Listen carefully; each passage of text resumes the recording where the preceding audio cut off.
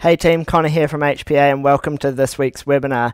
So today we're going to be talking about how to uh, model a velocity stack or an intake air trumpet uh, whatever you like to call it, in Onshape. So uh, Onshape, we generally use uh, Fusion 360 when we're doing our modeling at HPA, but we're um, branching out and looking at a few different CAD options as well to show you that really um, it's all the same at the end of the day. So today we're going to be looking at modeling a velocity stack, uh, just like this one I have here. If we just look over the on the overhead camera. Um, so this is one of our CRX race car with our K20 engine and we're going to look at how you might model something like this. And the first question might be why would we want to model something like that? And um, there's a few advantages to that. Uh, it could just be that we want to have it in a CAD model of uh, our engine assembly, or if we're working on an intake or something like that, we could check clearances and things like that. Otherwise, uh, if we have it modeled, we can also use CAM or uh, computer aided manufacturing. Uh, sorry, computer aided manufacturing uh, or uh, the use of CNC machines to make the uh, the part for us. So, um, and that could be in a range of different methods from something like 3D printing to uh, CNC machining on a lathe or a mill, or um, we could also uh, machine something so we could mold these out of carbon fiber or something like that. Um, but we'll talk about that a little bit more soon. Just before we get started, wanted to run through a few updates of what's happening around HPA at the moment. So uh, we'll start with some shop updates. Uh, and I have a few uh, photos here on my computer. I'll just bring some up.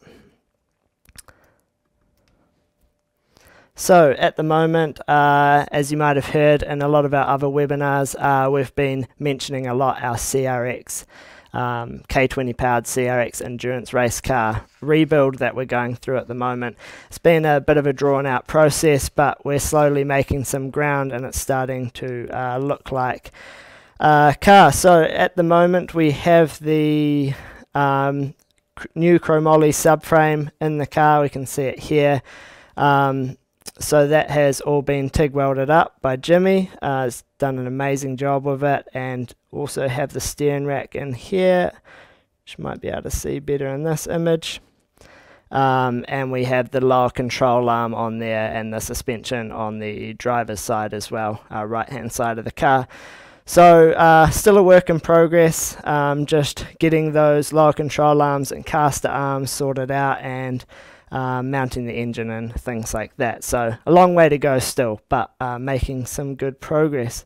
Um, and at the same time, Brandon is also working on mounting the steering rack. So in this case, we're going to be using the uh, an electronic rack out of a Toyota Yaris of all things. So uh, we've got that steering rack here, uh, steering column, sorry, electronic steering column out of a Toyota Yaris. So um, got that mounted up here and Brandon is in the process at the moment of building this mount. And this is kind of a similar design to what would be used in a modern WRC car among other race cars as well. Um, and there's a housing or kind of clamp here with a bearing inside it and that allows the ability for the steering column to be uh, adjusted. So a nice strong lightweight solution with some adjustability in there as well um, and then that will come out and that steering column will be mounted to a manual Honda CRX steering rack in this case. Um, and I did have another photo here somewhere. Uh, just showing the kind of fitment as well. Uh, Brandon also made these guards here uh, by hand um, so that's a, a, factory guard with a steel over fender mounted to it. Um, he's done some body work to tidy all of that up. And uh, this is actually a 3D printed part here behind the front wheel as well.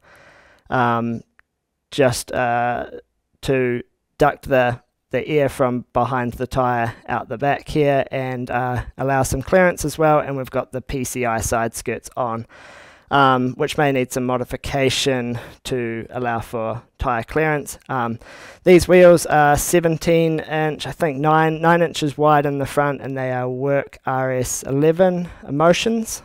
Um, so nice looking wheel. Uh, see if I had another photo here. There's a front view of it as well with the new bonnet. So a long way from being done, but starting to look a little bit more promising.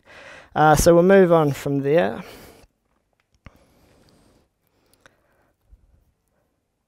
To the uh, this week's giveaway. So here. Uh, so this week's giveaway we have a MaxxECU Race Premium um, ECU.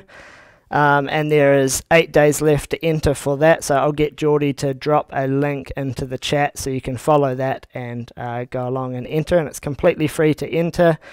Um, so that's the ECU. Um, and the kit also includes a loom, wideband sensor, and some other accessories. And it also comes with an HPA VIP package, so access to some of our courses uh, and VIP membership. Um, so that ECU is uh, um, this is actually what we're using in our Honda City uh, staff race car, which you might have seen some info on before. We've got a B18 CR in our Honda City And this is what's being used in there. But uh, this ECU is capable of controlling up to a V8, uh, eight cylinders, um, ignition and injection outputs, um, and it also has an onboard lambda sensor, uh, wideband. Yeah, lambda sensor and map sensor on board as well. So high quality ECU, potent little package, and um, yeah, head along to that to check that out. Um, and there's the MaxxECU page as well, um, showing some other features uh, typical to a, a, quality ECU like this, with uh, throttle, um, e-throttle control, and so on, CAN bus, traction control, and all of that. So head along to that link to check that out. Um, so over on our YouTube channel, uh, very recently, or not a month or two ago, we were at World Time Attack in Sydney, and um, one of the most competitive cars in the open class there, which has been around for quite a while now, is the uh, Tanuki S13, formerly known as the MCA Hammerhead. Um, and that has been piloted to, to various championship wins over time by the likes of uh, drivers like Tim Slade. Um, and uh, Andre in this interview chats with David from uh, GT Auto Garage. Yeah, and um, they just discuss the changes that it has gone through now, along with the name change to um, the state that it's in compared to the last times it's been running. So now this car uh, is using a VR38, which actually stroked to a 4.1 litre, the R35 GTR engine uh, making over a thousand horsepower.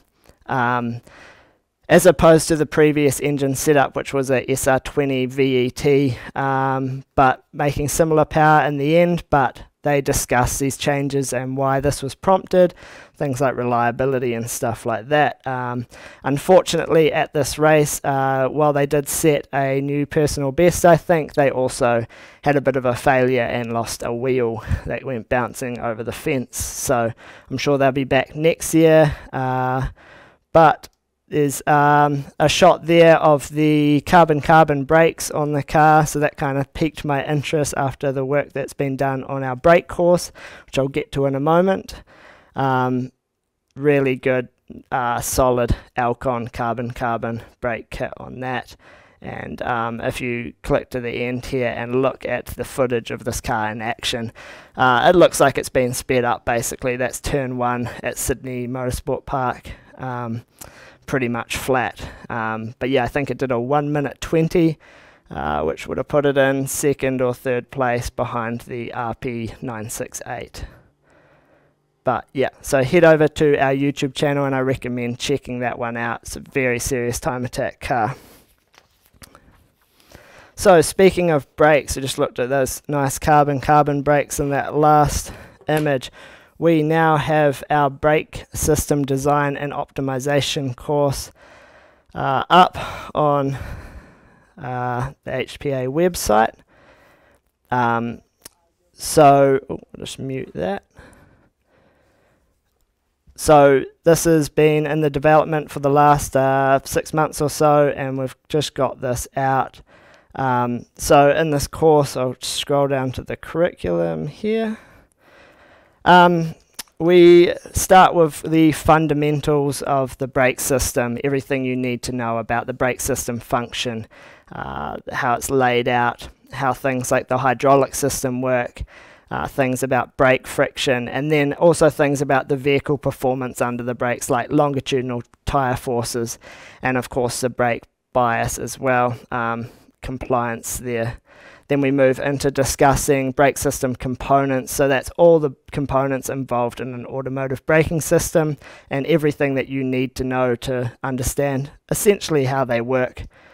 Um, from there, we move on to how to take measurements to analyze your brake system. So we've got temperature, pressure, and position measurements. That position measurement is of the uh, position of the master cylinders, so we can see uh, things like how much our master cylinder is moving uh, compared to the pressure, and that's a good way to uh, spot compliance issues.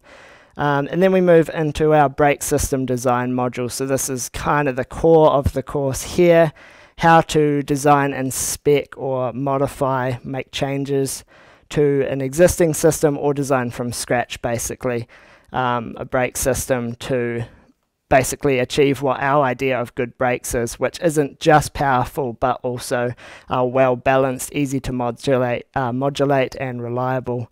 Um, so that's in there, and along with that, we also have our brake system calculator here. Um, and you can this does a lot of the heavy lifting for us in terms of calculation.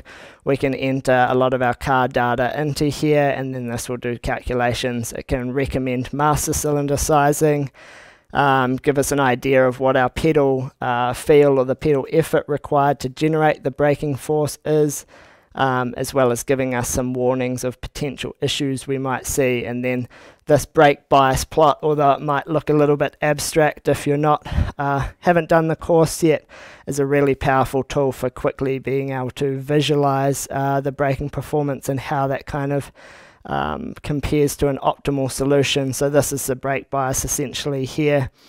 Uh, anywhere in this green window here is, is close or within about 7% of an optimal solution. In the red zone is too much rear bias, which would be uh, cause the rears to lock, be an unstable uh, situation or setup. And then in this grey area is too much front bias, which is essentially you're just leaving braking performance on the table.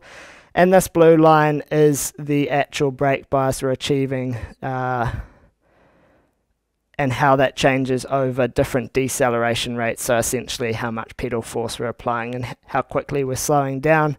Um, and this would be using a proportioning valve to achieve this um, kind of curved slope so we can see how it approximates an optimal solution, whereas without a proportioning valve we'd have a straight line.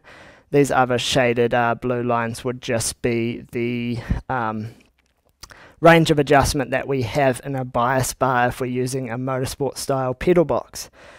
Uh, so that course is now online. Um, I'd recommend heading over to check it out.